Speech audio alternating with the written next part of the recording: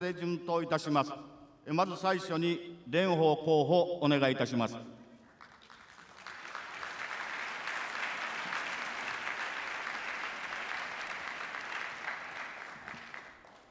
民進党の代表選挙に立候補させていただきました蓮舫です。どうぞよろしくお願いいたします。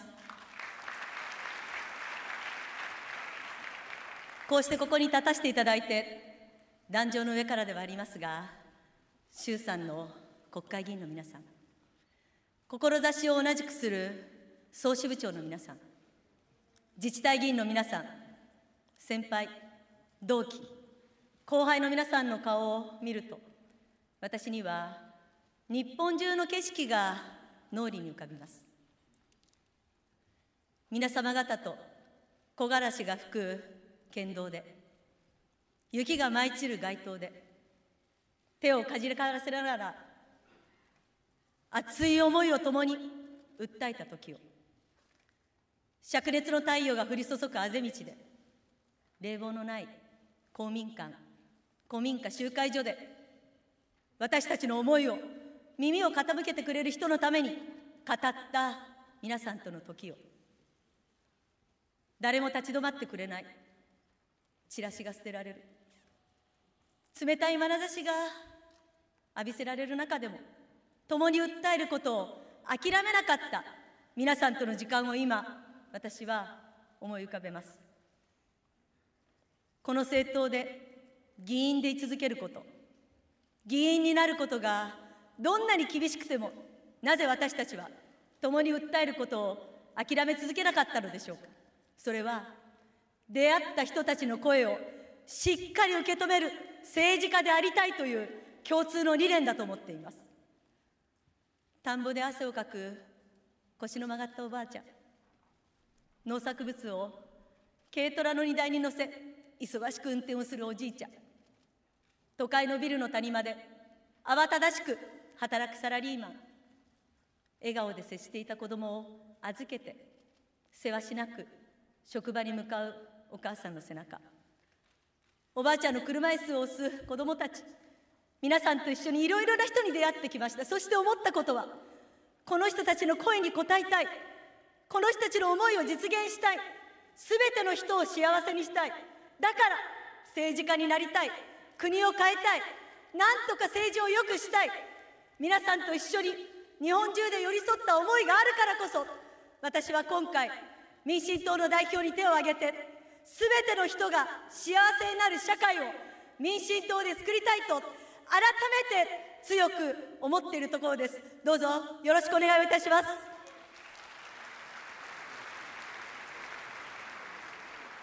私は台湾で生まれ育った父と日本人の母のもとに生まれました。今回、私の不確かな記憶や発言で本当にご迷惑をおかけしたことをお詫びをいたします。私は17歳から日本人です。ここで台湾の祖母と父について少し語らせてください日本時代に台湾で生まれたおばあちゃんは父が3歳になる時おじいちゃんが他界をし女手一つで父を含む4人の兄弟を育ててきました時代が変わり長い日本の統治が終わり国民党政権下で白色テロあるいは戒厳令の下で生きたおばあちゃんは子供たちに女の子の孫が生まれたら「ハス」という字をぜひつけてもらいたいと強く願ったと父から何度も聞かされました。ハスは平和の象徴です。初めて生まれた女の子の孫は私でした。おばあちゃんは私にいつか幸せの時が来たらいつか平時の時が来たら蓮の花を人々がめでる静かな時間が持てるように蓮の花の船をいくつもいくつも紡いでつないでいくことができるようにと蓮舫という名前をつけてくれました。蓮の花は泥沼の中で凛と育ち花を開かせます。日本台湾中国。戦前戦後激動の混乱の時代を生きたおばあちゃんが平和の願いを込めて私につけてくれた蓮舫という名前に私は誇りを持っています。父が成人をして日本で学び日本で働き日本人の女性と出会って結婚をして娘が17歳になった時父は言いました。日本人になれる。日本国籍が取れる。お前が選べ。ただ国際社会で不安定な地位に置かれやすい台湾なのか。それともあなたがお前が生きてきた生まれ育った平和な日本なのか。日本人になれば投票権がもらえる。政治参加ができる。私に選択する自由をくれた父を心から誇りに思っています。悩んで考えて私は祖母が私に思いを込めて名付けてくれた蓮舫という名前で17歳の時日本人を自らの意思で選択をしました。それ以降この国のために日本のために何かをしたいという思いで今日まで日本人であるということを誇りに思って我が国を愛しています。その後報道の世界に身を置きました。夫と出会い結婚し双子の子供が生まれてきてくれました。男の子と女の子の子供を育てることは本当に楽しくてこの上ない喜びでした。でも同時に育児は本当に心のストレスになるということも初めて学びました。出産前まで働いていた私がニュースや報道を見るたびに社会に取り残されてるんではないか置いてかれてるんではないかという焦燥感子供を育てた後職場に復帰できるんだろうかという焦りでも目の前にいるのには言葉もわからないどうしていいかわからない泣き続ける2人の赤ちゃん。一人が泣き止んでももう一人が泣き始める。その時私のどうしようもない時に私の頭に浮かんだのは殴ったら黙るんじゃないか。叩いたら静かになるんじゃないか。こんな私でも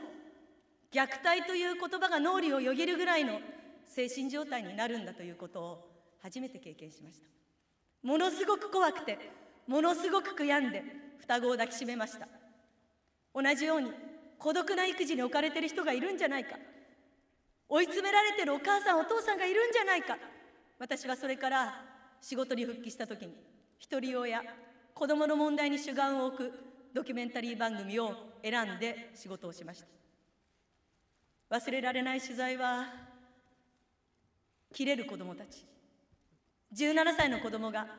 バタフライナイフで人を殺める傷つけるそんな事件が後を絶たなかった。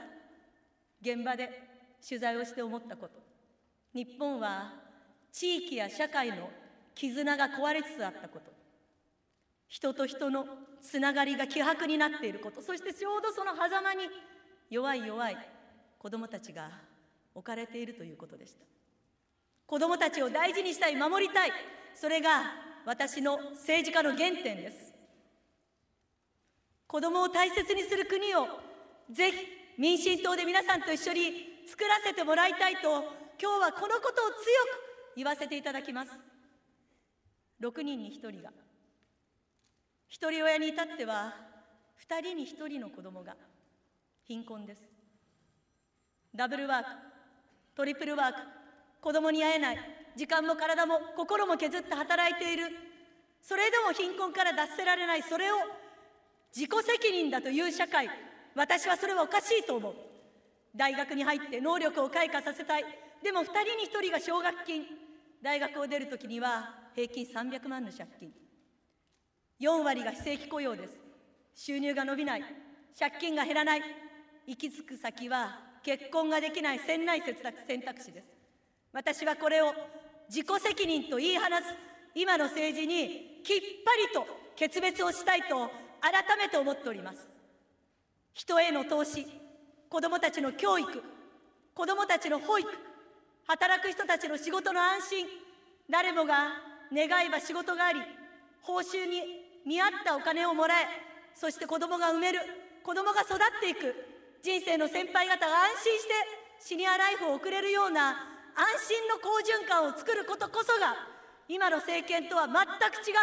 私たちの国の形だということ。その先頭にぜひ立たせていただいて選んでいただける民進党にぜひ私がトップになって皆さんと共に作りたいと心からお願いを申し上げます。今日はどうかよろしくお願いします。ご清聴ありがとうございました。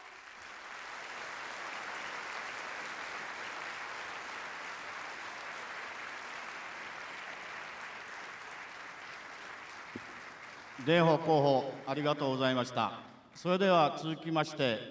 前原誠司候補よろしくお願いいたします。